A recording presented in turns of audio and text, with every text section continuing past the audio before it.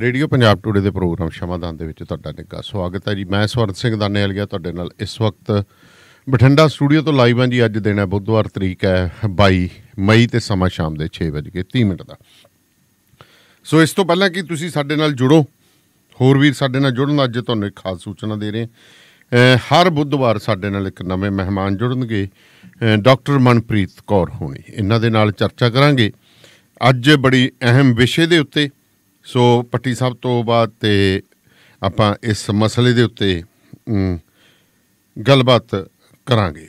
ਸੋ ਮਨਪ੍ਰੀਤ ਕੌਰ ਹੋਰਾਂ ਦੇ ਨਾਲ ਜਿਹੜੀ ਗੱਲਬਾਤ ਦਾ ਵਿਸ਼ਾ ਰਹੇਗਾ ਜੀ ਮੈਂਟਲ ਹੈਲਥ ਦਿਮਾਗੀ ਸਿਹਤ ਕਿਵੇਂ ਬਰਕਰਾਰ ਰੱਖੀ ਜਾਵੇ। ਸੋ ਐਕਚੁਅਲ ਮੈਂਟਲ ਹੈਲਥ ਜਿਹੜੀ ਆ, ਉਹਦੀ ਇੰਪੋਰਟੈਂਸ ਕੀ ਹੈ ਇਹਦੇ ਬਾਰੇ ਤੁਸੀਂ ਆਪਣੀਆਂ ਫੋਨ ਕਾਲਸ ਪਹਿਲਾਂ ਹੀ ਤਿਆਰ ਰੱਖਣਾ 9164 ਦੇ ਉੱਤੇ ਤੁਹਾਡੀਆਂ ਕਾਲਸ ਲਈਆਂ ਜਾਣਗੀਆਂ।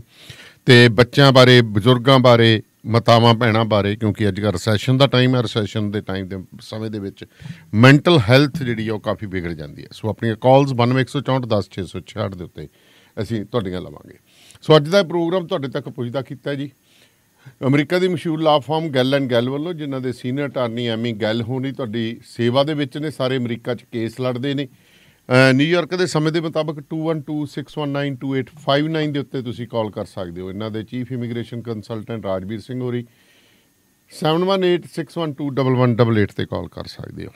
Washington freight service owner operator ਤੇ ਡਰਾਈਵਰ ਹਾਇਰ ਕਰ ਰਹੀ ਹੈ ਜੀ। ਚੰਗੇ ਬੋਨਸ ਦੇ ਨਾਲ ਨਾਲ ਕੰਪਨੀ ਹੋਰ ਸਹੂਲਤਾਂ ਵੀ ਦਿੰਦੀ ਹੈ ਜੀ। ਜਗਦੇਵ ਸੰਧੂ ਹੋਰਾਂ ਨੂੰ 2532666924 ਜਾਂ ਗੁਰਵਿੰਦਰ ਢਾਲੀਵਾਲ ਹੋਰਾਂ ਦੇ ਨਾਲ 2063544060 ਤੇ ਕਾਲ ਕਰ ਸਕਦੇ ਹੋ। ਹਰ ਤਰ੍ਹਾਂ ਦੇ ਅਕਾਊਂਟਸ ਬੁੱਕਕੀਪਿੰਗ ਟੈਕਸਿਸ ਦੇ ਲਈ ਹਮੇਸ਼ਾ ਯਾਦ ਰੱਖੋ ਐਕੂਰੇਟ ਅਕਾਊਂਟਸ ਐਂਡ ਟੈਕਸਿਸ ਵਾਲੇ ਮਹਿੰਦਰ ਸਿੰਘ ਸੋਲ ਤੇ ਲੋਕਪਾਲ ਸਿੰਘ ਸੋਲ ਹੋਰਾਂ ਨੂੰ 2535208886 ਦੇ ਉੱਤੇ ਕਾਲ ਕਰ ਸਕਦੇ ਹੋ। ਮੇਰੇ ਨਾਲ ਨੇ ਸਰਦਾਰ ਜਸਵੀਰ ਸਿੰਘ ਪੱਟੀ ਹੋ ਰਹੀ ਇਸ ਵਕਤ ਫੋਨ ਲਾਈਨ ਤੇ ਜੁੜ ਗਏ ਨੇ। ਪੱਟੀ ਸਾਹਿਬ ਦੇ ਨਾਲ ਸਾਂਝ ਪਾਉਣੇ ਆ ਪੱਟੀ ਸਾਹਿਬ ਸਤਿ ਸ੍ਰੀ ਅਕਾਲ ਜੀ। ਸ਼ੁਕਰੀਆ ਜੀ। ਮੇਰੇ ਵੱਲੋਂ ਵੀ ਆਪ ਜੀ ਦੇ ਸਾਰੇ ਸਰੋਤਿਆਂ ਨੂੰ ਸਤਿ ਸ੍ਰੀ ਅਕਾਲ ਜੀ। ਪੱਟੀ ਸਾਹਿਬ ਪਿੱਛੇ ਜੇ ਮੈਂ ਸੁਖਵੀਰ ਸਿੰਘ ਬਾਦਲ ਹੋਰਾਂ ਦਾ ਬਿਆਨ ਪੜ੍ਹ ਰਿਹਾ ਸੀ ਕਹਿੰਦੇ ਬੀਜੇਪੀ ਆਰਐਸਐਸ ਸਾਡੇ ਧਰਮ ਦੇ ਵਿੱਚ ਦਖਲਅੰਦਾਜ਼ੀ ਕਰ ਰਹੀ ਹੈ।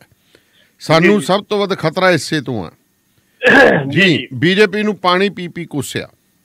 ਦਿੱਲੀ ਦੇ ਵਿੱਚ ਸ਼੍ਰੋਮਣੀ ਅਕਾਲੀ ਦਲ ਬਾਦਲ ਦੇ ਵੱਲੋਂ ਕਹਿੰਦੇ ਅਰਦਾਸ ਕਰਾਈ ਗਈ ਹੈ ਕਿ ਤੀਜੀ ਵਾਰ ਨਰਿੰਦਰ ਮੋਦੀ ਜੀ ਪ੍ਰਧਾਨ ਮੰਤਰੀ ਬਣ।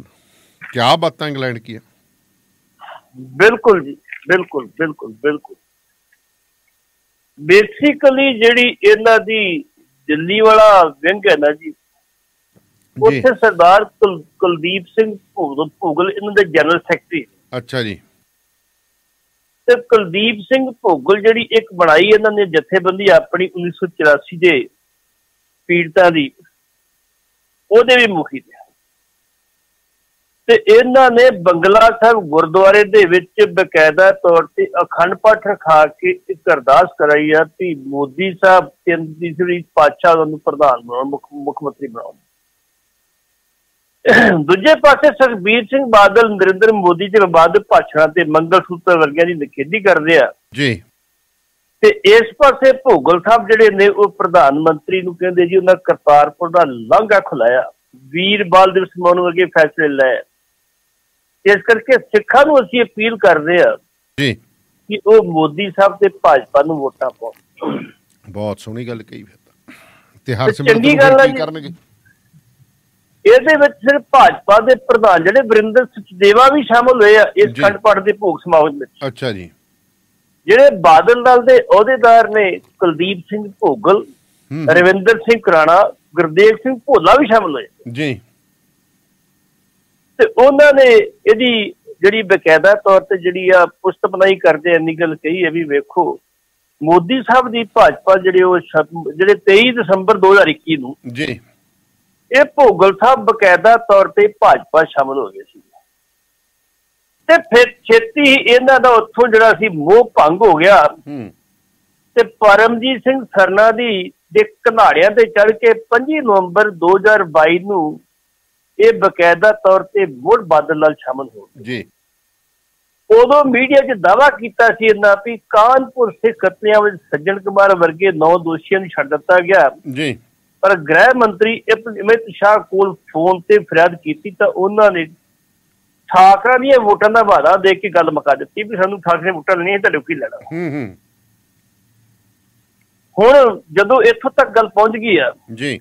ਤੇ ਹੁਣ ਭੋਗਲ ਸਾਹਿਬ ਬਕਾਇਦਾ ਤੌਰ ਤੇ ਖੰਡਪਟ ਕਰਾ ਕੇ ਕਹਿ ਰਹੇ ਨੇ। ਜੀ। 1984 ਦੋਸ਼ੀਆਂ ਨੂੰ ਸਜ਼ਾਵਾਂ ਮਿਲ ਜਾਣਗੀਆਂ ਜੇ ਮੋਦੀ ਸਾਹਿਬ ਜਿਹੜੇ ਉਹ ਤੀਸਰੀ ਪ੍ਰਧਾਨ ਮੰਤਰੀ ਬਣਦੇ ਨੇ। ਅੱਛਾ ਜੀ। ਹੁਣ ਇਹਦੇ ਤੇ ਸਰਦਾਰ ਸੁਖਬੀਰ ਸਿੰਘ ਬਾਦਲ ਨੂੰ ਸਪਸ਼ਟੀਕਰਨ ਦੇਣਾ ਚਾਹੀਦਾ ਵੀ ਉਹ ਕਿੱਥੇ ਖੜੇ ਨੇ ਹੂੰ ਹੂੰ ਹੂੰ ਹੂੰ। ਉਹ ਕਿੱਥੇ ਖੜੇ ਨੇ? ਜੀ। ਜੇ ਉਹਨਾਂ ਦਾ ਦਿੱਲੀ ਵਾਲਾ ਵਿੰਗ ਬਕਾਇਦਾ ਤੌਰ ਤੇ ਮੋਦੀ ਸਾਹਿਬ ਦੇ ਹੱਕ 'ਚ ਪ੍ਰਚਾਰ ਕਰ ਰਿਹਾ ਵਾ ਜੀ। ਮੋਦੀ ਸਾਹਿਬ ਨੂੰ ਤੀਸਰੀ ਪ੍ਰਧਾਨ ਮੰਤਰੀ ਬਣਾਉਣ ਲਈ ਬਕਾਲਾ ਵਾ ਤੇ ਫਿਰ ਹੁਣ 10 ਦਿਨ ਤੇ ਅਰਦਾਸ ਕਰਾਉਂਦਾ ਜਾ ਕੇ ਬੰਗਲਾ ਸਾਹਿਬ ਖੜਪਟ ਰਕਾ ਕੇ ਤੇ ਫਿਰ ਉਹਨਾਂ ਦੀ ਹੁਣ ਇਹਦੇ ਬਾਰੇ ਕੀ رائے ਆ ਜੀ ਜੀ ਉਧਰ ਜੀ ਬਿਲਕੁਲ ਤੁਹਾਡੀ ਗੱਲ ਸਹੀ ਹੈ ਸਪਸ਼ਟ ਕਰੋ ਲੋਕਾਂ ਨੂੰ ਤੁਸੀਂ ਜੋ ਕਹਿ ਰਹੇ ਹੋ ਫਿਰ ਜੇ ਅਰਦਾਸ ਹੋ ਗਈ ਤਾਂ ਫਿਰ ਹਰਸਿਮਰਤ ਨੂੰ ਤਾਂ ਨਾ ਪਾਉਣ ਲੋਕ ਵੋਟ ਫਿਰ ਪੰਜਾਬ 'ਚ ਬਿਲਕੁਲ ਬਿਲਕੁਲ ਬਿਲਕੁਲ ਹੈ ਜੀ ਜੇ ਮੋਦੀ ਪ੍ਰਧਾਨ ਮੰਤਰੀ ਤਾਂ ਹੀ ਬਣੂ ਜੇ ਪਰਮਪਾਲ ਜਿੱਤੂ ਤਾਂ ਜੀ ਜੀ ਜੀ ਜੀ ਹੂੰ ਚਲੋ। ਇੱਧਰ ਮੁੱਖ ਮੰਤਰੀ ਸਾਹਿਬ ਜਾਂਦੇ ਨੇ ਮਾਨਸਾ 'ਚ। ਰੋਡ ਸ਼ੋਅ ਕੱਢਣਾ ਸੀ। ਲੋਕ ਔਖੇ ਹੋ ਗਏ ਦੁਕਾਨਾਂ ਬੰਦ ਕਰਕੇ ਧਰਨੇ ਤੇ ਬਹਿ ਗਏ। ਜੀ ਜੀ ਮੌੜ ਮੰਡੀ 'ਚ ਜਿੱਥੇ ਰੈਲੀ ਹੋਣੀ ਸੀ ਉੱਥੇ ਧਰਨਾ ਲੱਗ ਗਿਆ। ਇਹ ਕੀ ਇਹਨਾਂ ਤੇ ਇਹ ਛਨਿੱਚਰ ਚੜ ਗਿਆ? ਐਕਚੁਅਲੀ ਬੇਸਿਕਲ ਲੋਕ ਦੁਖੀ ਨੇ। ਜੀ। ਲੋਕਾਂ ਨੇ ਜੇ ਵੋਟਾਂ ਆਮ ਆਦਮੀ ਪਾਰਟੀ ਪਾਈਆਂ ਸੀ ਮੈਨੂੰ ਕਈ ਬੰਦੇ ਕਹਿੰਦੇ ਜੀ ਇਹ ਭਗਵੰਤ ਮਾਨ ਦੇ ਵੋਟਾਂ ਨੂੰ ਮਨਾ ਨੂੰ ਪਈਆਂ। ਮੈਂ ਕਿਹਾ ਬਿਲਕੁਲ ਗਲਤ। ਅਸੀਂ ਪਿੰਡਾਂ 'ਚ ਜਾਂਦੇ ਸਾਂ ਲੋਕਾਂ ਨੂੰ ਪੁੱਛਦੇ ਸੀ ਬਾਤ ਵੋਟ ਕਿਹਨੂੰ ਪਾਉਣੀ ਝਾੜੂ ਨੂੰ ਖਲੋਤਾ ਕੌਣ ਪਤਾ ਨਹੀਂ। ਉਹਨਾਂ ਇੱਕ ਬਦਲਾਅ ਨੂੰ ਵੋਟ ਪਾਈ ਸੀ ਵੀ ਬਦਲਾਅ ਉਹ ਤੇ ਸ਼ਾਇਦ। ਸਾਡੀ ਕੋਈ ਆਉਣ ਵਾਲੀ ਜ਼ਿੰਦਗੀ 'ਚ ਸੁਧਾਰ ਹੋ ਜੂ। ਜੀ। ਉਹ ਸੁਧਾਰ ਹੋਣ ਤੋਂ ਸਗੋਂ ਹੋਰ ਵਿਗਾੜ ਵੱਧ ਗਿਆ। ਹੂੰ। ਜਿਹਦੇ ਕਰਕੇ ਲੋਕ ਦੁਖੀ ਨੇ। ਮੌੜ ਮੰਡੀ ਜਦੋਂ ਇਹਨਾਂ ਰੈਲੀ ਕਰਨੀ ਸੀ ਉੱਥੇ ਜਿੱਥੇ ਬੈਠ ਕੇ ਜਾ ਕੇ ਲੋਕ ਕਹਿੰਦੇ ਸਾਨੂੰ ਇੱਕ ਗੱਲ ਦੱਸ ਦਿਓ। ਤੁਹਾਨੂੰ 13 14 24 25 ਮਹੀਨੇ ਹੋ ਗਿਆ ਨੂੰ ਹੋ ਗਿਆ ਤੇ ਸਾਨੂੰ ਇਹ ਦੱਸ ਦਿਓ ਕਿ ਸਾਨੂੰ ਸਾਫ਼ ਪਾਣੀ ਦੀ ਸਹੂਲਤ ਨਹੀਂ ਦੇ ਸਕੇ। ਬਾਕੀ ਦੀ ਸਾਡਾ ਕੀ ਸਵਾਰ ਕੀ ਦੇਵੋਗੇ? ਹਾਂਜੀ। ਬੇਸਿਕਲੀ ਸਰਕਾਰਾਂ ਦਾ ਇਹ ਕੰਮ ਕਰਦਾ ਬਾਕੀ ਗੱਲਾਂ ਕਰਨ ਦੀ ਬਜਾਏ ਦੇਸ਼ ਦੇ ਲੋਕਾਂ ਨੂੰ ਸਿਹਤ ਸਹੂਲਤਾਂ ਮਿਆਰੀ ਵਿਦਿਆ ਜੀ। ਤੇ ਸਾਫ਼ ਪਾਣੀ ਦੀ ਸਹੂਲਤ ਤਿੰਨ ਚੀਜ਼ਾਂ ਦੇ ਦੇਣ ਤੇ ਬਾਕੀ ਲੋਕ ਆਪਣਾ ਪ੍ਰਬੰਧ ਆਪ ਕਰ ਲੈਣ। ਜੀ। ਕਿ ਜੋ ਪੜ੍ਹ ਲਿਖ ਜਾਣਗੇ ਆਪਣੀ ਵੋਟ ਵੀ ਸੋਚ ਸਮਝ ਕੇ ਪਾਉਣਗੇ ਤੇ ਬਕਾਇਦਾ ਤੌਰ ਤੇ ਪੜ੍ਹੇ ਲਿਖੇ ਬੰਦਿਆਂ ਨੂੰ ਰੋਜ਼ਗਾਰ ਵੀ ਮਿਲ ਜਾਂਦਾ। ਮਿਲ ਜਾਂਦਾ ਜੀ ਬਿਲਕੁਲ। ਇਸ ਕਰਕੇ ਉਹਨਾਂ ਨੇ ਪਾਰ ਲਾਤਾ ਧਰਨਾ ਤੇ ਹੁਣ ਮੁੱਖ ਮੰਤਰੀ ਸਾਹਿਬ ਕੀ ਕਰਨ ਉੱਥੇ ਕਿਵੇਂ ਜਾਂਦੇ? ਜੋ ਲੋਕ। ਬੈਠੇ ਨੇ ਧਰਨਾ ਮਾਰ ਕੇ। ਜੀ। ਇੱਥੇ ਬਸ ਨਹੀਂ ਇਹਨਾਂ ਦੀ ਧਰਮ ਪਤਨੀ ਅੱਜ ਇਹਨਾਂ ਦੇ ਧੂਰੀ ਇਲਾਕੇ 'ਚ ਗਈ। ਅੱਛਾ ਜੀ। ਜਿੱਥੋਂ ਮੁੱਖ ਮੰਤਰੀ ਬਣੇ ਨੇ। ਹੂੰ ਹੂੰ।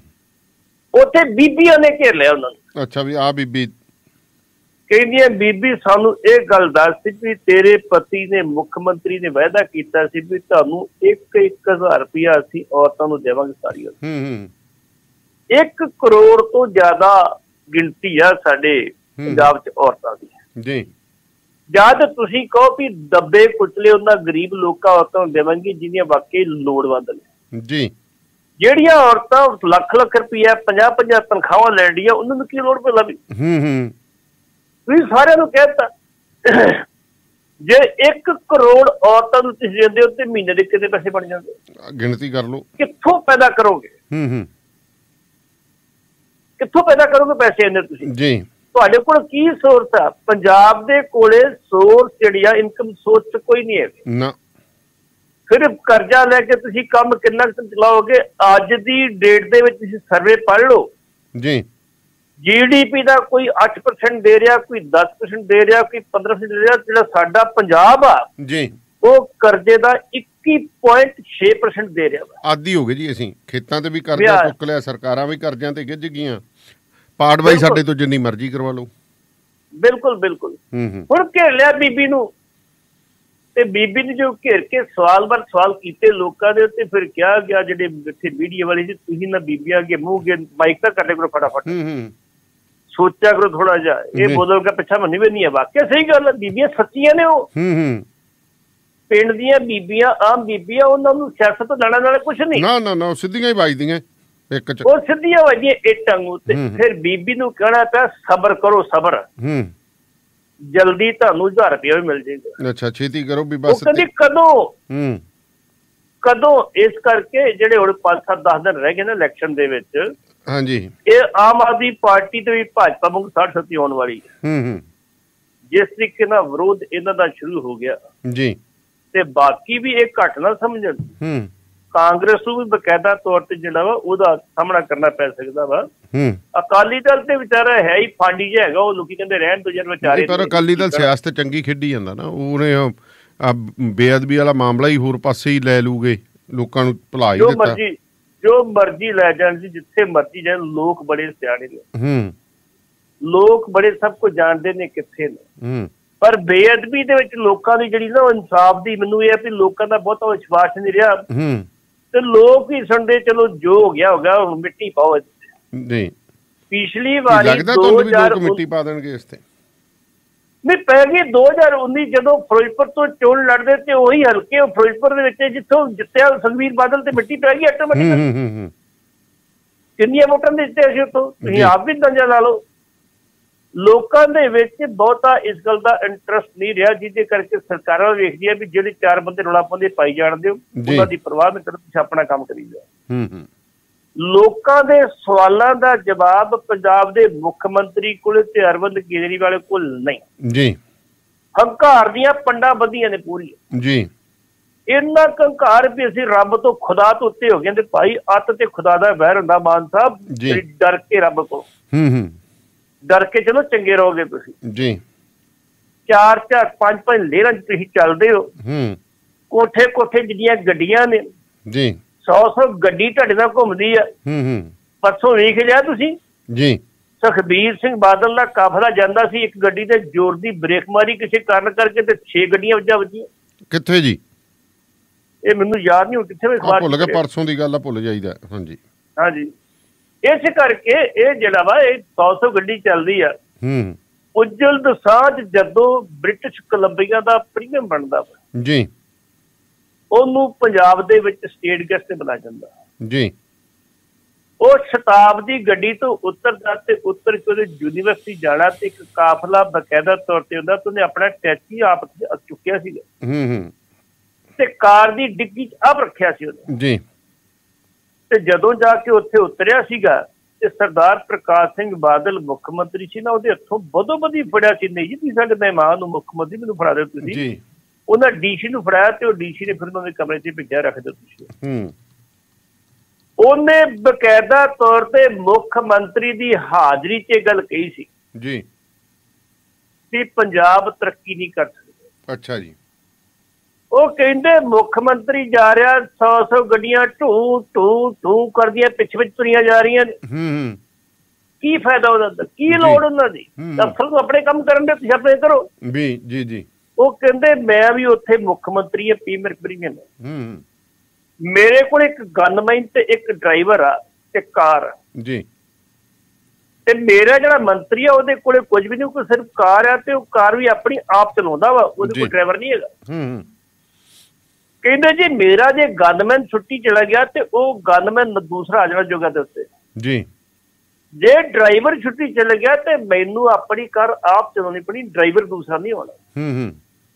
ਇੱਥੇ ਤੇ 100 100 ਗੱਡੀਆਂ ਤੁਸੀਂ ਢੂ ਢੂ ਕਰਦੀਆਂ ਫਿਰਦੇ ਤੁਸੀਂ ਟੱਕੀ ਖੇਤ ਸਵਾ ਕਰਨੀ ਹੈ? ਜੀ। ਗੱਲ ਬਿਲਕੁਲ ਸਹੀ ਸੀ। ਆ ਜਿਹੜੇ ਕਹਿੰਦੇ ਸੀ ਅਸੀਂ ਵੀਆਈਪੀ ਕਲਚਰ ਖਤਮ ਕਰਾਂਗੇ। ਜੀ। ਉਹ ਵੀਆਈਪੀ ਨੇ ਵੀ ਵੀਆਈਪੀ ਹੋ ਗਏ ਨੇ ਹੁਣ। ਉਹ ਤਾਂ ਉਦੋਂ ਵੀ ਅੱਗੇ ਕੋਈ ਹੈਗੀ ਤਾਂ ਉਹ ਵੀ ਹੋ ਗਏ ਜੀ ਉਹ ਤਾਂ। ਮੈਂ ਤਾਂ ਤੁਹਾਨੂੰ ਕਹਿ ਤੱਕ ਤੇ ਖੁਦਾ ਦਾ ਵਹਿਰ ਹੁੰਦਾ। ਹੂੰ। ਲੰਘ ਕੇ ਨੇ ਉਹ ਸੋਚਦੇ ਵੀ ਹੁਣ ਅਸੀਂ ਸਦਾ ਵਾਸਤੇ ਬਣ ਕੇ ਸਾਨੂੰ ਕਿ ਲਾਉਣਾ ਹੀ ਨਹੀਂ ਇੱਥੋਂ। ਹੂੰ ਹੂੰ।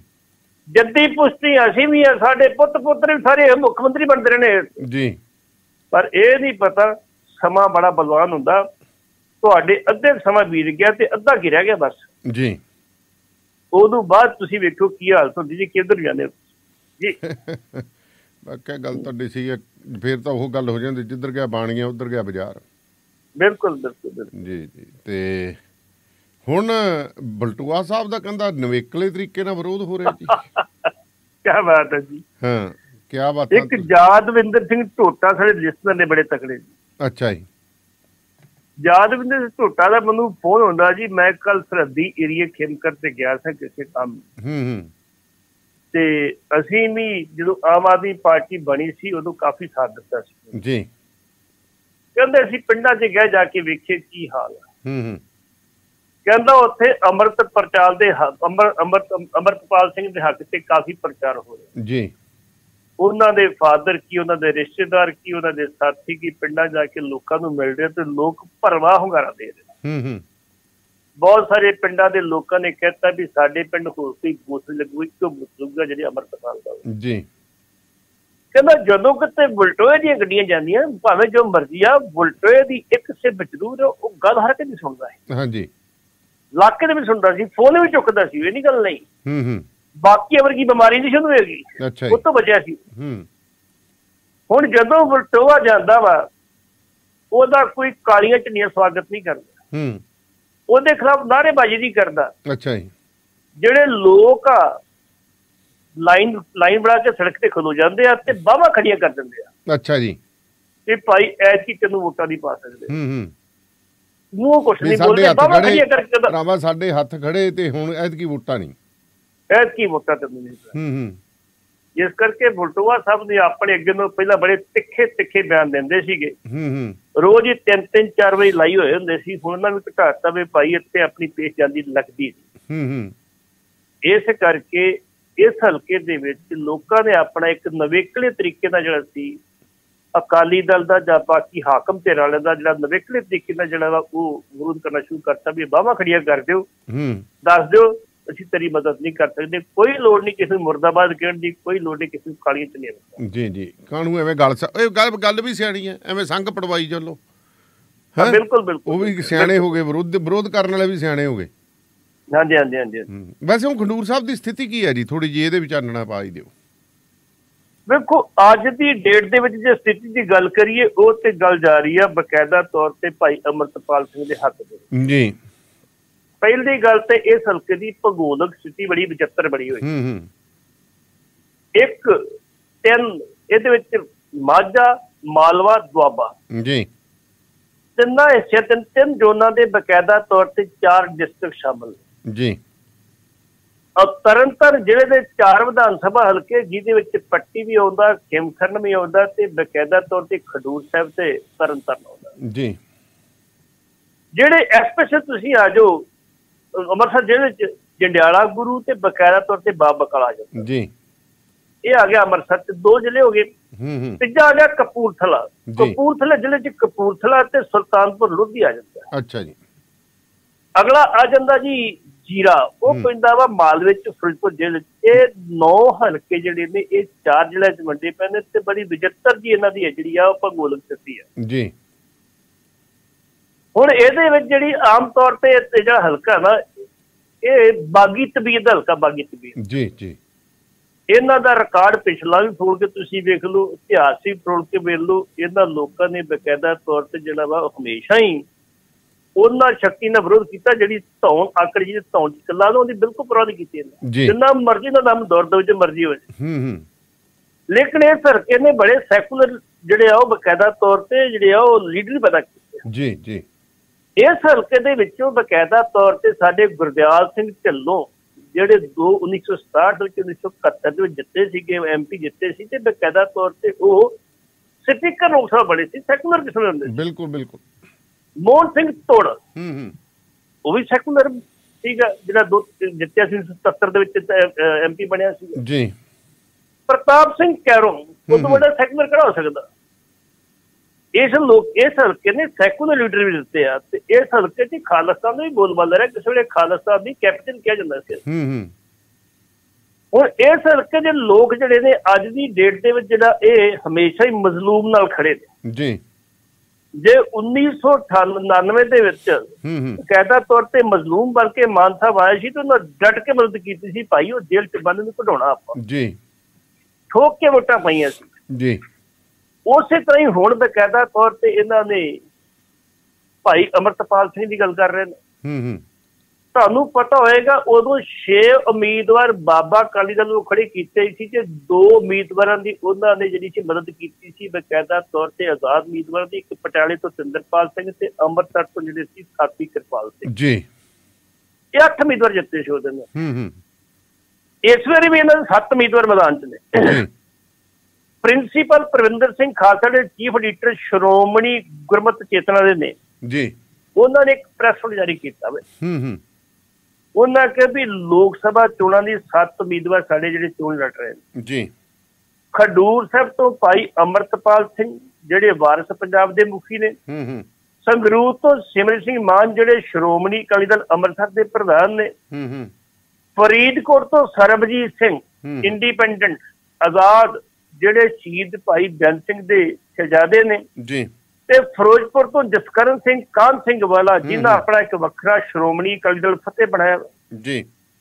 ਅੱਗੇ ਚੱਲਦੇ ਜੀ ਲੁਧਿਆਣਾ ਤੋਂ ਕਮਲਜੀਤ ਸਿੰਘ ਬਰਾੜ ਇਹ ਵੀ ਇੰਡੀਪੈਂਡੈਂਟ। ਨੇ। ਬਠਿੰਡਾ ਤੋਂ ਲੱਖਾ ਸਿੰਘ ਸਧਾਣਾ ਜਿਹਨੂੰ ਸ਼੍ਰੋਮਣੀ ਅਕਾਲੀ ਦਲ ਅੰਮ੍ਰਿਤਸਰ ਦੇ ਹੀ ਉਮੀਦਵਾਰ ਨੇ। ਤੇ ਪਟਿਆਲਾ ਤੋਂ ਪ੍ਰੋਫੈਸਰ ਮਹਿੰਦਰਪਾਲ ਸਿੰਘ ਸ਼੍ਰੋਮਣੀ ਅਕਾਲੀ ਦਲ ਅੰਮ੍ਰਿਤਸਰ। ਇਹ। ਸੱਤ ਉਮੀਦਵਾਰ ਮੈਂ ਕਿਹਾ ਸਾਡੇ ਮੈਦਾਨ 'ਚ ਸੱਤਾਂ ਨੂੰ ਵੋਟਾਂ ਪਾਓ। ਜੀ। ਜਿਹੜੀ ਗੱਲ ਤੁਸੀਂ ਗੱਲ ਕਹਿ ਸੀ ਬਿਲਕੁਲ ਤੁਹਾਡੀ ਗੱਲ ਠੀਕ ਹੈ। ਹੂੰ। ਜਿਹੜੀ ਹਵਾ ਇਸ ਵੇਲੇ ਤਰਨਤਾਰਨ ਸੰਗਰੂਰ ਸਾਹਿਬ ਚ ਲੱਗ ਰਹੀ ਆ ਇਹਦਾ ਜਿਹੜਾ ਇਹ ਹਵਾ ਦਾ ਬੁੱਲੇ ਜਿਹੜੇ ਨੇ ਉਹ ਸੰਗਰੂਰ ਤੇ ਤੇ ਫਰੀਦਕੋਟ ਤੇ ਬਠਿੰਡੇ ਸਭ ਜਗ੍ਹਾ ਜਾ ਰਹੇ। ਫਰੀਦਕੋਟ 'ਚ ਜ਼ਿਆਦਾ ਹੀ ਜਾ ਰਿਹਾ। ਫਰੀਦਕੋਟ 'ਚ ਤਾਂ ਐਨ ਜਿਹਨੂੰ ਕਹਿੰਦੇ ਆ ਨਾ ਵੀ ਉਹ ਬਾਬਰੂਲਾ ਜਿਹਾ ਪੈਦਾ ਹੁੰਦਾ ਜਾਂਦਾ ਅਲੱਦੀ ਅਲੱਦੇ ਜੀ, ਜੀ। ਵੱਜਦੇ ਆਉਂਦੇ ਨੇ। ਕੋਈ ਪਤਾ ਨਹੀਂ ਲੋਕਾਂ ਦਾ ਕੀ ਸੁਭਾਅ ਕੀ ਕਰਨਾ ਕੀ ਨਹੀਂ ਕਰਨਾ। ਫਿਰ ਅਗਲੀ ਗੱਲ ਕਰਦੇ। ਜੀ। ਖਡੂਰ ਸਾਹਿਬ ਦੇ ਵਿੱਚ ਜਿਹੜਾ ਵਾ ਨਾ ਇਹਦੇ ਵਿੱਚ 75 75.5% ਜਿਹੜੇ ਸਿੱਖ ਆਬਾਦੀ ਹੈ। ਜੀ। ਤੇ ਸਿੱਖ ਆਬਾਦੀ ਦੇ ਫਿਰ ਵੋਟ ਅਮਰਤਪਾਲ ਨੂੰ ਪਾਏਗੀ ਜ਼ਿਆਦਾ ਨਹੀਂ। ਹੂੰ।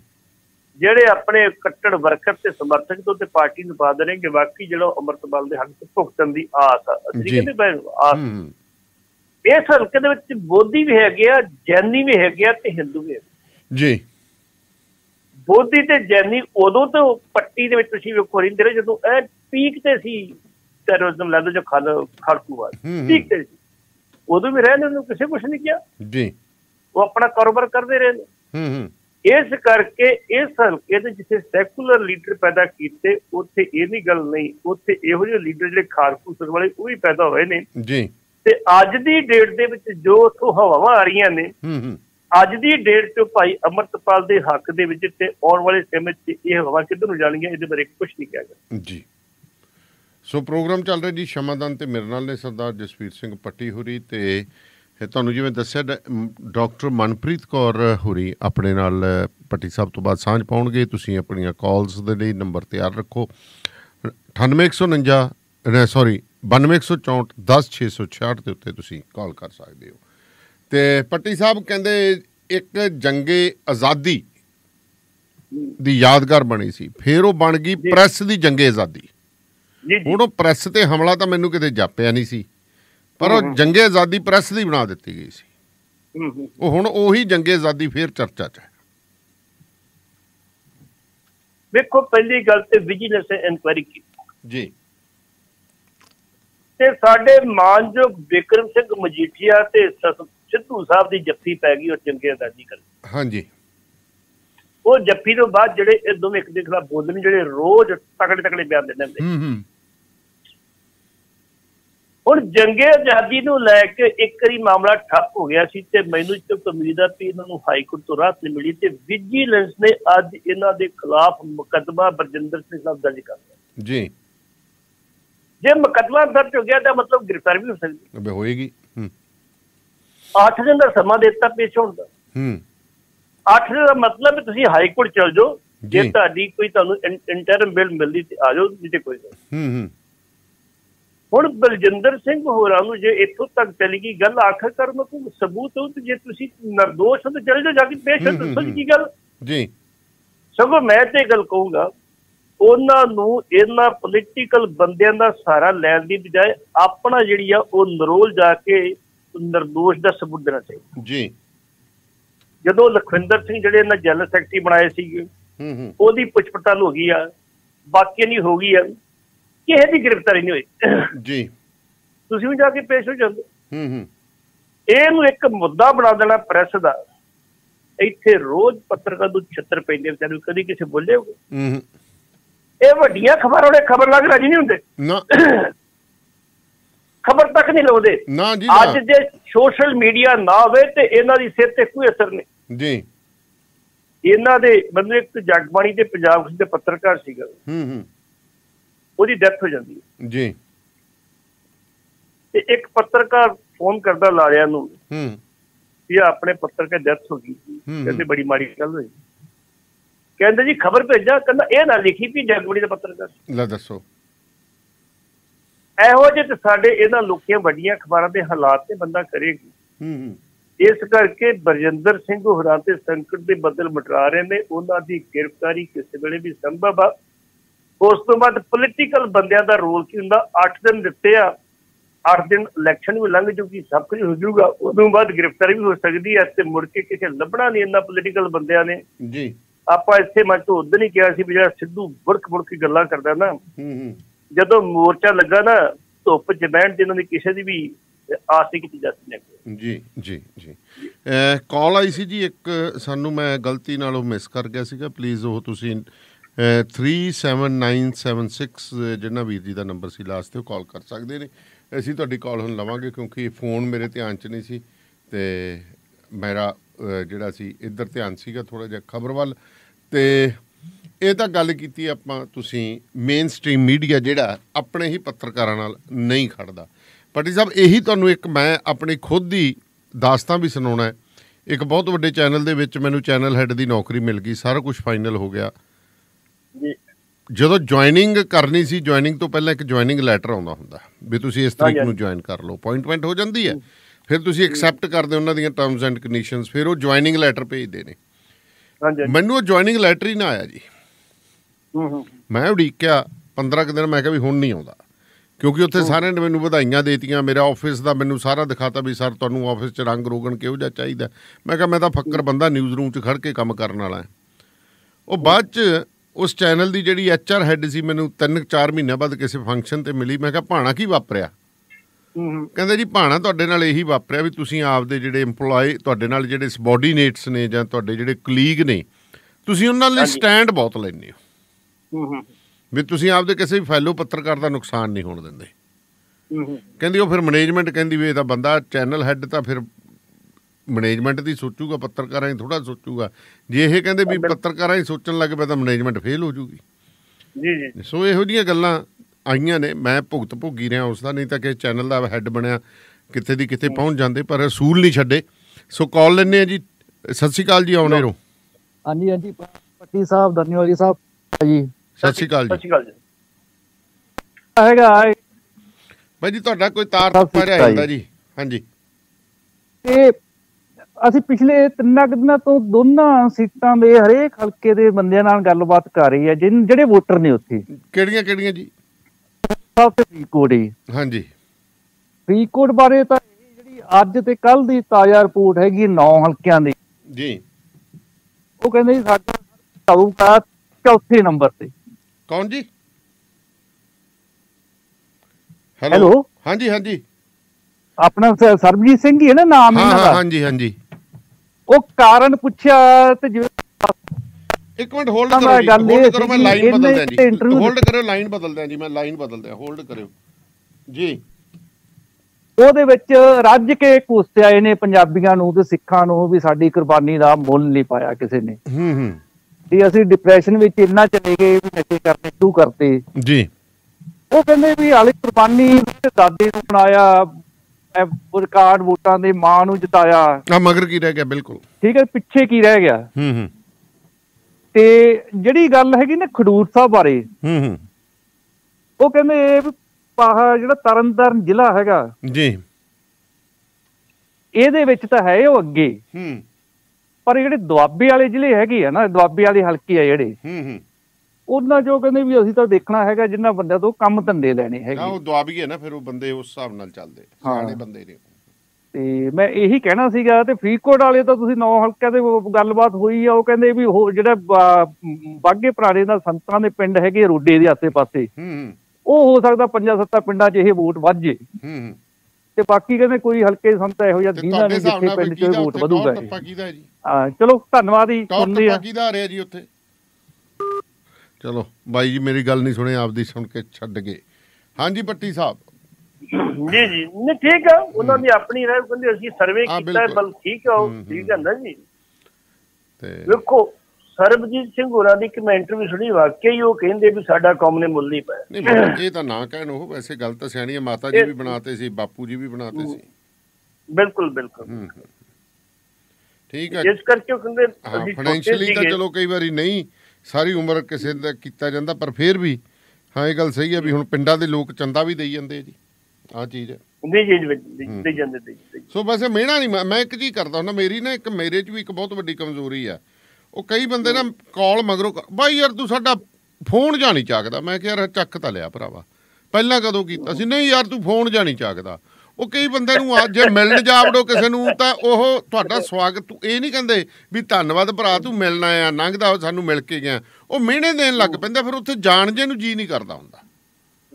ਉਹ ਫਿਰ ਐਂ ਜੇ ਕਰਦਾ ਯਾਰ ਇਹਨੇ ਮਿਲਣਾ ਘੱਟ ਆ ਮਿਹਣੇ ਵੱਧ ਦੇਣੇ ਆ। ਹਾਂਜੀ ਭਾਵੇਂ 6 ਮਹੀਨਿਆਂ ਬਾਅਦ ਹੀ ਦਿਲ ਕੀਤਾ ਨੰਗੇ ਮਿਲ ਲੋ ਤੇ ਇਹਨੇ ਐਂ ਕਹਿਣਾ ਵੀ ਤੂੰ 6 ਮਹੀਨੇ ਨਹੀਂ ਮੇਰੇ ਕੋਲ ਆਇਆ।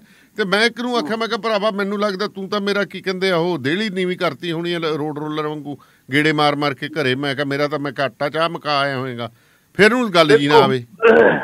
ਜਿਹੜੀ ਜਿਹੜੀ ਗੱਲ ਉਹ ਵੀਰ ਨੇ ਕੀਤੀ ਹੈ ਜੀ ਇਹਨਾਂ ਜ਼ਿਲ੍ਹਿਆਂ ਦੀ, ਹੂੰ। ਮੈਂ ਇਹ ਗੱਲ ਕਹਿੰਦਾ ਕਿ 6 ਹਲਕੇ ਨੇ ਬਕਾਇਦਾ ਤੌਰ ਤੇ। ਅੰਮ੍ਰਿਤਸਰ ਦੇ 2 ਤੇ 4 ਹਲਕੇ ਹੈਗੇ ਨੇ ਆਪਣੇ ਜੀ। ਤਰਨਤਾਰਨ ਦੇ। ਹੂੰ। ਹੂੰ ਇਹਨਾਂ ਦੇ ਵਿੱਚ ਵੀ ਜਿੱਤ ਜਾਂਦਾ ਤੇ ਫਿਰ ਕੋਈ ਪ੍ਰੋਬਲਮ ਨਹੀਂ ਹੈਗੀ। ਹੂੰ ਹੂੰ। ਮੈਂ ਤੁਹਾਨੂੰ ਦੱਸਣ ਲੱਗਾ 2019 ਦੀ ਗੱਲ। ਆਪਾਂ ਇੱਕ ਕਾਲ ਲੈ ਲਈਏ ਫਿਰ ਸ਼ਾਇਦ ਵਿੱਚ ਹੀ ਨਾ ਹੋਵੇ। ਸਤਿ ਸ਼੍ਰੀ ਅਕਾਲ ਵੀਰ ਜੀ ਤੁਸੀਂ ਆਉਣੇ ਰਹੋ। ਅਸੀਂ ਅਸੀਂ ਗੱਲ ਬਾਈ ਜੀ ਕੀ ਹਾਲ ਹੈ? ਠੀਕ ਹੈ ਜੀ ਠੀਕ ਹੈ।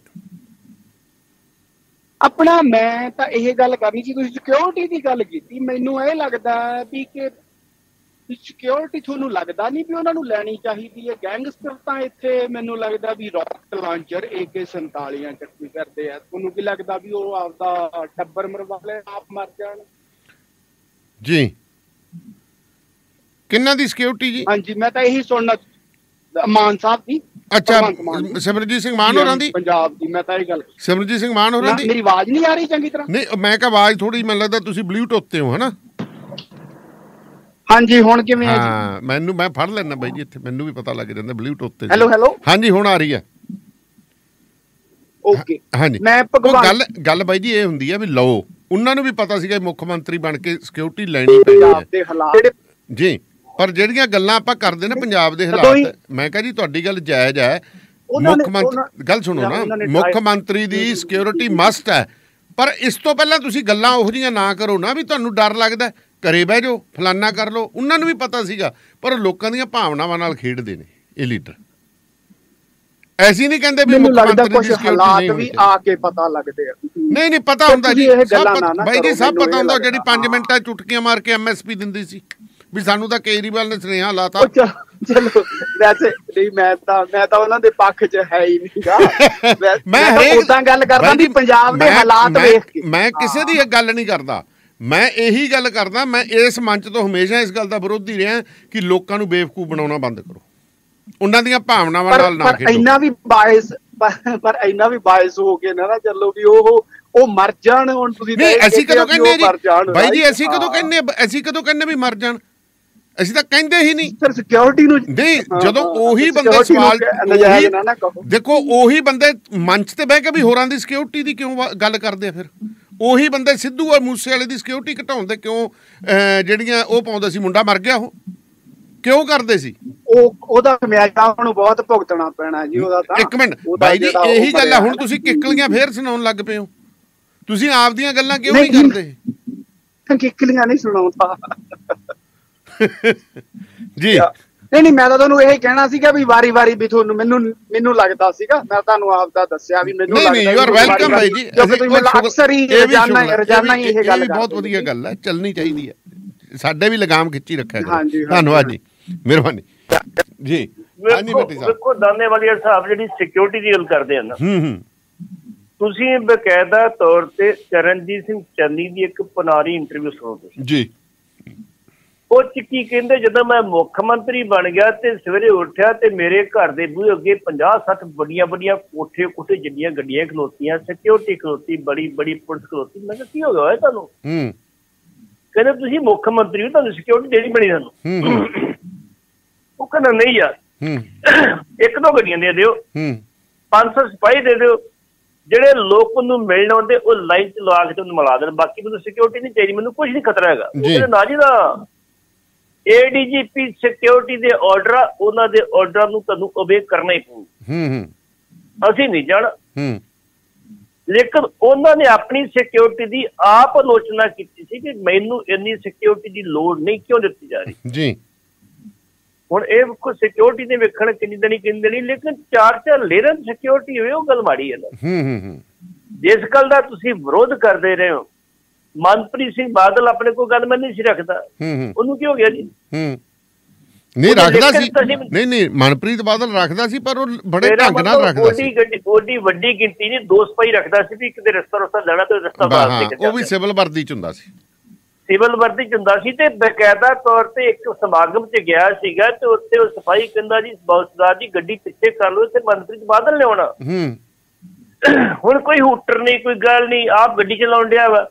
ਬਿਠੋ ਕਹਿੰਦਾ ਭਾਈ ਮੈਂ ਮਨਪ੍ਰੀਤ ਬਾਦਲ ਮੈਂ ਹੀ ਮੈਂ ਇੱਥੇ ਆਉਣਾ ਜਿੰਦੇ ਇਹ ਆ ਸਾਦਾਪਨ ਜੀ। ਸਾਡੇ ਤੇ ਕਈ ਰਿਸ਼ਤੇਦਾਰ ਹੁੰਦੇ ਨੇ ਉਹ ਕਹਿੰਦੇ ਕਹਿੰਦੇ ਮੁੱਖ ਮੰਤਰੀ ਰਿਸ਼ਤੇਦਾਰ ਕਹਿੰਦਾ ਤੂੰ ਇਹ ਗੱਡੀ ਵੱਡੀ ਗੱਡੀ ਤੇ ਆਈ ਹੈ ਪਤਾ ਲੱਗੇ ਲੋਕਾਂ ਨੂੰ ਕੋਈ ਰਿਸ਼ਤੇਦਾਰ ਆਇਆ। ਹੂੰ ਹੂੰ ਹੂੰ। ਇਹ ਤਾਂ ਸਾਡੇ ਹਾਲਾਤ ਬਣ ਗਏ ਆ। ਜੀ। ਅਸੀਂ ਬਿਲਕੁਲ ਖਿਲਾਫ ਨਹੀਂ ਵੀ ਸਿਕਿਉਰਿਟੀ ਉਹ ਨਾਲ ਲੈਣ ਲੇਕਿਨ 100 100 ਗੱਡੀ ਤੁਰੀ ਫਿਰਦੀ ਕਾਦੇ ਵਾਸਤੇ? ਜੀ ਬਿਲਕੁਲ। ਡੀਸੀ ਭੱਜੇ ਭੱਜਾ ਫਿਰਦਾ ਵਾ ਐਸਐਸਸੀ ਭੱਜਾ ਫਿਰਦਾ ਕਮਿਸ਼ਨਰ ਭੱਜਾ ਫਿਰਦਾ ਡੀਐਸਪੀ ਭੱਜੇ ਫਿਰ ਕੀ ਕਿੰਨੀ ਸਿਕਿਉਰਿਟੀ ਲਾਓਗੇ? ਕੀ ਕਰ ਲੋਗੇ ਮੈਨੂੰ ਹੁਣ ਗੱਲ ਯਾਦ ਆ ਗਈ ਮੈਂ ਦੱਸ ਦਿਆਂ ਤੁਹਾਨੂੰ। ਜੀ। 1999 ਦੇ ਵਿੱਚ ਸ਼੍ਰੋਮਣੀ ਕਮੇਟੀ ਦਾ ਇੱਕ ਜੱਥਾ ਪਾਕਿਸਤਾਨ ਜੀ। ਉਹਦੇ ਵਿੱਚ ਸ਼੍ਰੋਮਣੀ ਕਮੇਟੀ ਦਾ ਇੱਕ ਸੈਕਟਰੀ ਵੀ ਸ਼ਾਮਲ ਹੁੰਦਾ। ਜੀ। ਉਹ ਸੈਕਟਰੀ ਨੂੰ ਉੱਥੇ ਬੱਬਰ ਖਾਲਸਾ ਤੇ ਮੁਖੀ ਬਦਾਵਾ ਸਿੰਘ ਬੱਬਰ ਮਿਲਦੇ। ਹੂੰ ਹੂੰ। ਉਹਨੂੰ ਕਹਿੰਦੇ ਬਾਦਲ ਸਾਹਿਬ ਨੂੰ ਇੰਨੀ ਗੱਲ ਕਹਿ ਦਿਓ। ਹੂੰ। ਤੇ ਮਿਹਰਬਾਨੀ ਕਰਕੇ ਸਾਡੇ ਜਿਹੜੇ ਆ ਸਿੰਘ ਫੜੇ ਨੇ ਛੱਡ ਦਿਓ ਜੀ।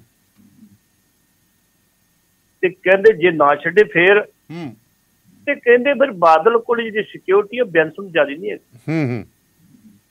ਇਹ ਸ਼ਬਦ ਆ ਉਹਨਾਂ ਦੇ ਬੱਬਰ ਖਾਲਸਾ ਵਾਲਿਆਂ ਜੀ। ਇਹ ਮੈਨੂੰ ਸੈਕਟਰੀ ਨੇ ਆਪ ਗੱਲ ਦੱਸੀ ਕਿ ਆਹ ਗੱਲ ਹੋਈ ਸੀ ਤੇ ਮੈਂ ਸਿਲਾ ਭੇਜਤਾ ਸੀ ਬਾਦਲ ਸਾਹਿਬ ਨੇ ਛੱਡੇ ਨਹੀਂ ਬੰਦੇ ਲੇਕਿਨ ਚਾਰ ਗੁਣਾ ਸਿਕਿਉਰਿਟੀ ਆਪਣੀ ਵਧਾ ਲਈ ਸੀ ਮੈਨੂੰ ਕੁਛ ਨਾ ਇਸ ਕਰਕੇ ਭਾਈ ਜੇ ਤੁਹਾਨੂੰ ਖਤਰਾ ਕਿਸੇ ਗੱਲ ਤੋਂ ਨਾ ਬੜੋ ਤੁਸੀਂ ਨਾ ਉਹਦੇ ਨਾ ਬੈਠੋ ਤੁਸੀਂ ਜਾ ਕੇ ਉੱਥੇ। ਹੂੰ ਹੂੰ ਹੂੰ। ਰੈਸਟ ਕਰ ਲਓ ਕਿ ਹੋਰ ਕਾਰੋਬਾਰ ਕਰ ਲਓ। ਹੂੰ। ਜਿਨ੍ਹਾਂ ਲੋਕਾਂ ਨੇ ਤੁਹਾਨੂੰ ਇੰਨੀਆਂ ਵੋਟਾਂ ਪਾ ਕੇ ਜਿਤਾਇਆ ਕੀ ਤੁਹਾਨੂੰ ਮਾਰਨਗੇ ਅਸੀਂ ਇਹ ਨਹੀਂ ਕਹਿੰਦੇ ਕਿ ਵਿੱਚ ਗੰਡਿਆਂ ਦੀ ਗੰਡੇਲੀ ਹੁੰਦੇ ਨੇ। ਹੂੰ ਹੂੰ। ਲੇਕਿਨ ਫਿਰ ਵੀ ਉਨੀ ਕੁ ਸਿਕਿਉਰਿਟੀ ਰੱਖੋ ਜਿੰਨੀ ਕਿ ਜਾਇਜ਼ ਜਾਇਜ਼ ਹੈਗੀ। ਜੀ। ਕਾਲ ਲੈ ਲਈਏ ਜੀ। ਸਤਿ ਸ਼੍ਰੀ ਅਕਾਲ ਜੀ। ਕੰਗ ਸਾਹਿਬ ਆਉਣੇ ਰੋ ਹਾਂਜੀ ਦਾਨੇ ਵਾਲੇ ਦਾ ਸਰ। ਸਤਿ ਸ੍ਰੀ ਅਕਾਲ ਭਾਈ ਜੀ। ਸਤਿ ਸ਼੍ਰੀ ਅਕਾਲ। ਸਤਿ ਸ਼੍ਰੀ ਅਕਾਲ ਜੀ। ਭਾਈ ਜੀ ਤੁਸੀਂ ਸਿਕਿਉਰਿਟੀ ਦੀ ਗੱਲ ਕਰਦੇ ਹੂੰ। ਸਿਕਿਉਰਿਟੀ ਹੁਣ ਇੱਥੇ ਜਿਹੜੇ ਯੂਰਪ 'ਚ ਵੀ ਲੀਡਰ ਤੁਰੇ ਫਿਰਦੇ ਕਿਸੇ ਮੇਨ ਲੀਡਰ ਕੋ ਜਿਹੜਾ ਮੇਨ ਆ ਉਹ ਤੋਂ ਕੋਈ ਹੁੰਦੀ ਹੈ ਨਾ। ਜੀ। ਤੇ ਇੱਥੇ ਤੇ ਬਾਈ ਜੀ ਚਾਰ ਗਾਲਾਂ ਕੱਢ ਦਈਏ ਫੇਸਬੁੱਕ ਤੇ ਤੇ ਉਹਨਾਂ ਨੂੰ ਬਾਡੀਗਾਰਡ ਚਾਰ ਮਿਲ ਜਾਂਦੇ ਹਨਾ ਭਾਵੇਂ ਘਰ ਵਿਚਾਰੇ ਗਰੀਬ ਦੇ ਸਾਈਕਲ ਹੀ ਹੋਵੇ। ਆ ਹੈਗੇ ਆ ਜੀ ਬਠਿੰਡੇ ਦੋ ਕੁ। ਹਨਾ? ਤੇ ਇਸ ਕਰਕੇ ਇਹ ਸਰਕਾਰ ਨੂੰ ਚਾਹੀਦਾ। ਦੂਜੀ ਗੱਲ ਬਾਈ ਜੀ ਤੁਸੀਂ ਪਰਸੋਂ ਵਾਲੇ ਪ੍ਰੋਗਰਾਮ ਤੇ ਗੱਲ ਕੀਤੀ ਸੀ ਕਿ ਆਪਣੇ ਜਿਹੜੇ ਵੋਟਾਂ ਪਾਉਣ ਨਹੀਂ ਜਾਂਦੇ ਉਹਨਾਂ ਨੂੰ ਕੋਈ ਜੁਰਮਾਨਾ ਨਹੀਂ। ਬਾਈ ਜੀ ਸਾਡੇ ਇੱਥੇ 250 ਯੂਰੋ ਜੁਰਮਾਨਾ ਤੇ ਇੰਡੀਆ ਦਾ 15000 ਰੁਪਇਆ ਬਣ ਜਾਂਦਾ 15 16000 ਕਿਹੜੇ ਦੇਸ਼ 'ਚ ਜੀ? ਜਿਹੜਾ ਵੋਟ ਨਹੀਂ ਪਾਉਂਦਾ ਕਿਹੜੇ ਦੇਸ਼ ਚ ਬਾਈ ਜੀ? ਇਹ ਬੈਲਜੀਅਮ। ਜਿਹੜੇ ਮਰਜ਼ੀ ਦੇਸ਼ ਚ ਲਾ ਲਓ। ਠੀਕ ਹੈ ਜੀ। ਹੂੰ ਹੂੰ ਹੂੰ। ਤੇ- ਤੇ ਹਾਂਜੀ। ਬਾਕੀ ਪ੍ਰੋਗਰਾਮ ਤੁਹਾਡਾ ਬਹੁਤ ਸੋਹਣਾ ਦੋਨਾਂ ਭਰਾਵਾਂ ਦਾ ਮਿਹਰਬਾਨੀ। ਜੀ। ਅੱਜ ਕਾਲਸ ਦਾ ਵੀ ਨਜ਼ਾਰਾ ਲਿਆ ਤਾ ਤੁਸੀਂ। ਮਾਰਿਆ ਕਰੋ ਹੱਲਾ ਭੱਲਾ ਕਿਉਂ ਜੀ ਪੱਟੀ ਸਾਹਿਬ? ਜੀ ਜੀ ਜੀ। ਹਾਂ। ਸੋ ਕਾਲਸ ਵੀ ਆਉਂਦੀਆਂ ਰਹਿਣ ਤਾਂ ਸਵਾਦ ਜਾ ਲੱਗਿਆ ਰਹਿੰਦਾ ਆਪਣਾ ਵੀ ਜੀ ਲੱਗਿਆ ਰਹਿੰਦਾ ਤੇ ਹਾਂਜੀ। ਇਜਾਜ਼ਤ ਲੈ ਲਈਏ ਜੀ ਫਿਰ? ਹਾਂਜੀ ਬਿਲਕੁਲ ਠੀਕ ਹੈ ਜੀ ਧੰਨਵਾਦ ਜੀ ਮਿਹਰਬਾਨੀ। ਥੈਂਕ ਸੋ ਇਹ ਸਨ ਸਰਦਾਰ ਜਸਵੀਰ ਸਿੰਘ ਪੱਟੀ ਹੋਰੀ ਤੇ ਪ੍ਰੋਗਰਾਮ ਸ਼ਮਾਦਾਨ ਦੇ ਵਿੱਚ ਫਿਲਹਾਲ ਇੱਕ ਬ੍ਰੇਕ ਬ੍ਰੇਕ ਤੋਂ ਬਾਅਦ ਫਿਰ ਹਾਜ਼ਰ ਹੁੰਨੇ ਜੁੜੇ ਰਹੋ ਰੇਡੀਓ ਪੰਜਾਬ ਟੁਡੇ ਦੇ ਨਾਲ। EDD 15 ਚਲਾਉਂਦੇ ਜਾਂ ਬੇਕਾਰ Max Force Cummins ISX Volvo Mercedes Sprinter ਜਿਹੀ ਮੋਟਰ ਹੋਵੇ ਤੇਲ ਹੋਰ origignal ਫਿਲਟਰ ਤਾਂ ਚੇਂਜ ਕਰਾਉਣਾ ਹੀ ਆ ਆ ਜਾਓ ਫਿਰ quick truck lube truck servicing ਵਾਹ ਭਾਈ ਵਾਹ ਕੋਈ ਅਪਾਇੰਟਮੈਂਟ ਨਹੀਂ ਡਰਾਈਵ ਥਰੂ ਫੈਸਿਲਿਟੀ ਯੂਜ਼ ਕਰੋ ਦੋ ਲੋਕੇਸ਼ਨਸ ਤੁਸੀਂ ਜਾਣਦੇ ਹੀ ਹੋ exit 268 on highway 401 or exit 5 on QEW quick truck lube ਖੁਸ਼ ਹੋ ਕੇ ਪਰਤੋਗੇ ਮੰਨ ਲਓ 519 622 0660 Calicut 519622 QTL because we care. We truck you. ਭੈਣ ਜੀ ਵਿਆਹ ਲਈ ਕੱਪੜਿਆਂ ਦੀ ਤੇ ਸ਼ਾਪਿੰਗ ਹੋ ਗਈ ਲਾਜਵਾਬ ਪਰ ਜੁਐਲਰੀ ਕਿੱਥੋਂ ਲੈਣੀ ਹੈ ਫਿਕਰ ਨਾ ਕਰੋ ਜਿੱਥੇ ਲੋਕ ਸੂਟ ਦੇਖਦੇ ਰਹਿ ਜਾਣਗੇ ਉੱਥੇ ਗਹਿਣੇ ਦੇ ਡਿਜ਼ਾਈਨ ਦੀ ਵੀ ਤਾਰੀਫ ਕੀਤੇ ਬਿਨਾ ਰਹਿਣਗੇ ਨਹੀਂ ਕਿਉਂਕਿ ਏਸੀ ਜੁਐਲਰਸ ਕੈਂਟ ਵਾਲਿਆਂ ਦੇ ਕੋਲ ਹੈ 22 ਕੈਰਟ ਦੇ ਸੋਨੇ ਦੇ ਗਹਿਣੇ ਔਰਤਾਂ ਮਰਦਾਂ ਬੱਚਿਆਂ ਦੇ ਵੰਨ-ਸਵੰਨੇ ਗਹਿਣਿਆਂ ਦੀ ਬੇਸ਼ੁਮਾਰ ਤੇ ਲੇਟੈਸਟ ਵੈਰਾਈਟੀ ਇਹਨਾਂ ਦੇ ਸ਼ੋਰੂਮ 'ਚ ਸੋਨੇ ਚਾਂਦੀ ਹੀਰਿਆਂ ਦੇ ਗਹਿਣੇ ਭਰੇ ਰਹਿੰਦੇ ਨੇ ਜਿੱਥੇ ਹੈ ਕੁੰਦਨ ਸੈੱਟ ਜੜਾਊ ਸੈੱਟ ਪੋਲਕੀ ਸੈੱਟ ਹੀਰੇ ਜੜੇ set light weight necklace chain ਕੜੇ ਚੂੜੀਆਂ ਨਗਾ ਵਾਲੀਆਂ ਸੋਹਣੀਆਂ ਸੋਹਣੀਆਂ ਮੁੰਦਰੀਆਂ ਝੁਮਕੇ ਵਾਲੀਆਂ ਤੇ ਹੋਰ ਬਥੇਰਾ ਕੁਝ। ਏਸੀ ਜਿਊਲਰ ਸ਼ਟਲ ਵਿੱਚ ਹਰ ਹਫ਼ਤੇ ਨਵੀਂ ਸ਼ਿਪਮੈਂਟ ਆਉਂਦੀ ਹੈ। ਤੁਹਾਡੇ ਪਸੰਦ ਦੇ ਤੁਹਾਡੇ ਸਾਈਜ਼ ਮੁਤਾਬਕ ਗਹਿਣੇ 2 ਹਫ਼ਤਿਆਂ ਵਿੱਚ ਤਿਆਰ ਕਰਵਾ ਕੇ ਦਿੰਦੇ ਹਨ ਤੇ ਰਿਪੇਅਰ ਵੀ ਕਰਦੇ ਹਨ। 24 ਕੈਰਟ ਸੋਨੇ ਦੇ ਬਿਸਕੁਟ ਖਰੀਦ ਅਤੇ ਵੇਚ ਸਕਦੇ ਹੋ। 100% ਪਿਓਰ ਗਰੰਟੀ ਵਾਲੇ ਗਹਿਣੇ ਲੈਣ ਲਈ ਪਹੁੰਚੋ 25416 100 Fort Avenue South East Kent ਓਏ ਮੇਰੇ ਵੀਰ ਮੈਨੂੰ ਬਸ ਇੱਕ ਗੱਲ ਦੱਸ ਦੇ ਵੀ ਆ ਜਿਹੜੀ ਤੂੰ ਟਰੈਵਲਿੰਗ ਕਰਦਾ ਤੇ ਉਹਦੇ ਤੋਂ ਬਾਅਦ ਫਰੈਸ਼ ਰਹਿਣਾ ਇਹਦਾ ਰਾਜ਼ ਕੀ ਹੈ? ਇਹਦਾ ਰਾਜ਼ ਹੈ Arlington fuel stop Arlington fuel stop 1801 Pioneer Street highway exit 208 ਤੇ ਜਿੱਥੇ ਤੁਹਾਨੂੰ free coffee free fax service free truck parking ਰੋਟੀ ਠੇਕਾ ਲਾਂਡਰੀ ਸ਼ਾਵਰ ਤੇ ਟਰੱਕਾਂ ਦਾ ਹੋਰ ਵੀ ਸਾਮਾਨ ਆਸਾਨੀ ਨਾਲ ਮਿਲੇਗਾ। ਹੁਣੇ ਕਾਲ ਕਰੋ 360 652 6066 ਯਾਨੀ 360652 6066 ਇਹ ਦੋ ਲੋਕੇਸ਼ਨਾਂ ਤੋਂ ਸੇਵਾਵਾਂ ਪ੍ਰਦਾਨ ਕਰਦੇ ਨੇ second location Lost Hill travel center 14814 Alom street Lost Hills phone number 661 797 2354 ਹੁਣ ਰੀਫਰੈਸ਼ ਟਰੈਵਲ ਪਲਾਜ਼ਾ ਮਡੇਰਾ ਵਾਲੇ ਲੋਕਲ ਟਰੱਕ ਵੀਰਾਂ ਨੂੰ ਡੀਜ਼ਲ ਭਰਵਾਉਣ ਤੇ 39 ਸੈਂਟਸ ਪਰ ਗੈਲਨ ਦੀ ਰਿਬੇਟ ਦੇ ਰਹੇ ਹਨ। ਮੰਥ ਦੇ ਅਖੀਰ ਤੇ ਚੈੱਕ ਸਿੱਧਾ ਘਰੇ ਪਹੁੰਚ ਜਾਏਗਾ। 25 ਏਕੜ ਦੇ ਇਸ ਕੰਪਲੈਕਸ 'ਚ ਹਨ ਸਾਫ਼ ਸੁਥਰੇ ਸ਼ਾਵਰ ਟਾਇਰ ਸ਼ਾਪ ਤੇ ਰਿਪੇਅਰ ਸ਼ਾਪ ਵੀ ਜਲਦੀ ਸ਼ੁਰੂ ਹੋਣਗੇ। ਦੇਸੀ ਘਿਓ ਦੇ ਤੜਕੇ ਵਾਲਾ ਪਿਓਰ ਪੰਜਾਬੀ ਵੈਜ ਤੇ ਨਾਨ ਵੈਜ ਖਾਣਾ। ਫਿਰ ਕਿਤੇ ਹੋਰ ਕਿਉਂ ਜਾਣਾ? Refresh travel plaza T A Madera exit 144 highway 99 call Sachin Malik ਜਾਂ ਰਵੀ ਗਰੇਵਾਲ at 5599647787 ਬਹੁਤ ਜਲਦ ਬੇਕਰਸਫੀਲਡ ਵੀ ਖੁੱਲ ਰਿਹਾ ਹੈ। ਇੱਕ ਨਵਾਂ pilot truck stop 99 and Taft highway ਤੇ